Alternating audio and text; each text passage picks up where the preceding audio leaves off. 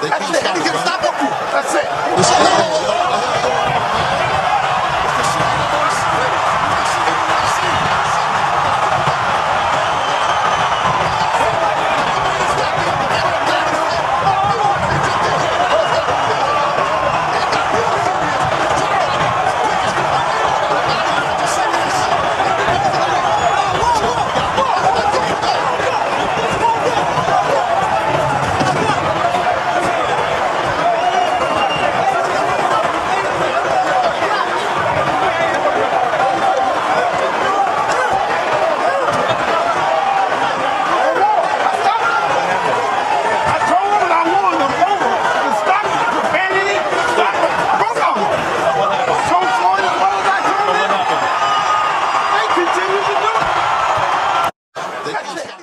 Last night it went down, as y'all can see.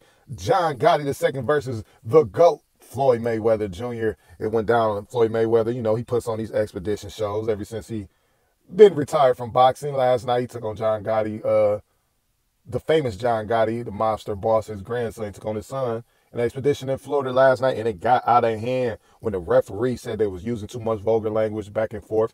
If anybody don't watch boxing, in boxing, real boxing matches, they're not allowed to say certain things. But this is an expedition, and they had one of the top uh, referees in boxing, and he's probably not used to that because it's not judges in expedition boxing matches, as we know. And he stopped it. He felt it was getting out of hand, so he stopped the fight. But when he stopped the fight, John Gotti, the second, uh, didn't stop. He kept running down on Floyd, and then the whole TMT rushed John Gotti Jr. No, I mean John Gotti the second, excuse me. And it was a big melee. They led in the ring and out the ring. Joseline Hernandez, Stevie J, ex-wife, she took off and they got to fighting. Man, it was just going down and it was on Zeus. So anybody that knows Zeus, Zeus is a wild channel, man. One of the best reality show channels we got, and they love keeping it stern, uh, stirring shit up and fighting. And uh, you know, it went down last night. It was really crazy. Uh, both teams uh, went at it. Uh, cooler heads prevailed because Floyd was in the in the locker room. He was in good spirits. And from what I'm hearing on the boxing channels, it will be a part two. We'll see in the next couple of days.